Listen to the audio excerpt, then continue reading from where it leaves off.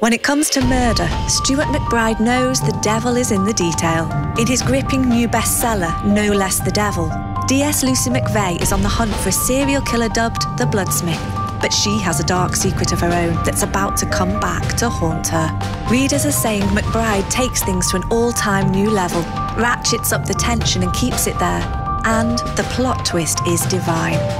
No Less the Devil is out now in paperback.